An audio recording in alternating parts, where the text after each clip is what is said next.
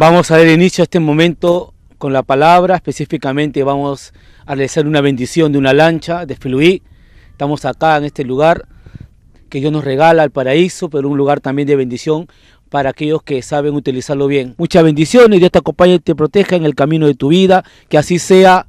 Amén. Bueno, aquí estamos navegando junto a, a Filuí, rumbo al Sol Filuí. Se llaman las dos embarcaciones.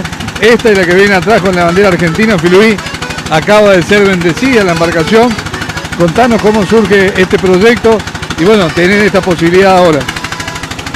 Un sueño hace mucho tiempo que lo quería hacer porque mi idea era cuando llevamos la Virgen, a mí me salió la idea que también quería llevarle. Y bueno, despacito, despacito traté de, de armar como corresponde un track, un bote, algo lindo para llevar a pescar, a pasear a la gente, a la familia. Eh, eh, también fotográfico, un paseo fotográfico. Me cumplió mi sueño, gracias a Dios.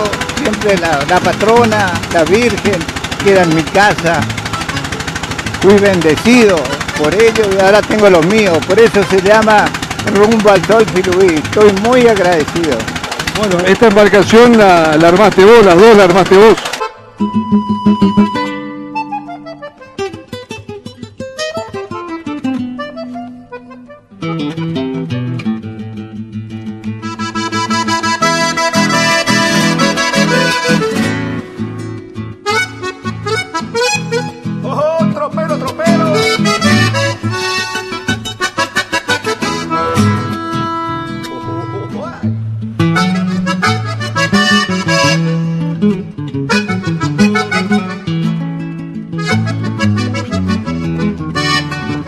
No, no, eh, la gorra mía es, recuerdo a mi hijo cuando hizo la colimba en Tierra del Fuego.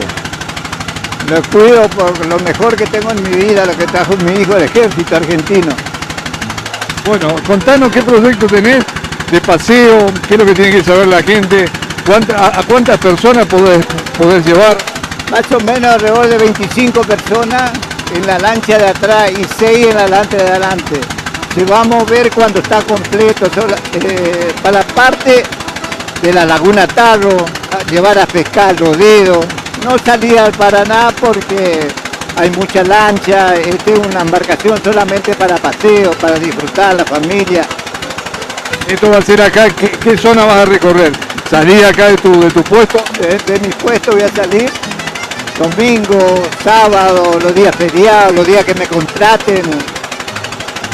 También puede ir la lancha sola, la primera lancha, eh, menos de 10 tipos no, sal- no puedo salir porque no me da el costo. ¿Hasta dónde va, va a llegar más o menos? Y voy a llegar eh, de la parte según del medio hasta Laguna Tarro, porque tengo que buscar lugar donde el agua está calmado, donde no hay mucho, mucha lancha por los problemas que está habiendo, se pasa, nadie fija nada, pasan como dueños del río. Y tenemos que cuidar nosotros entre todo un poco el agua dulce que Dios nos dio, que tenemos que cuidar lo mejor que tenemos. Y estoy feliz, estoy feliz. Bueno, eh, la idea también es ir contándoles, mostrándoles la, la fauna, la flora, contándoles todo lo que sabes de tantos años como, como vaqueano, ¿no? Sí, sí, sí, gracias a Dios. Sí, Sí, eso es mi idea también. Hay un grupo ya que me vieron que quiere, quiere salir un domingo a la mañana de aquí a Videocampo. Y lo vas a hacer. Lo voy a hacer, les dije que sé, de que sea, salimos a las 7 de la mañana y volvemos a las 4 o 5 de la tarde. Porque más o menos de aquí a Ocampo se va a llevar dos horas y media, tres. Bueno, Pirubí, la verdad, buen emprendimiento, eh, una oportunidad para los que quieran venir, los que son de la zona, de la Tosca mismo, pero los que vienen más de lejos también para todos los turistas. Sí, exactamente, para mostrarles nuestra naturaleza que tenemos. Tenemos naturaleza, no sabemos, no sabemos valorar lo que tenemos, lo que Dios nos da.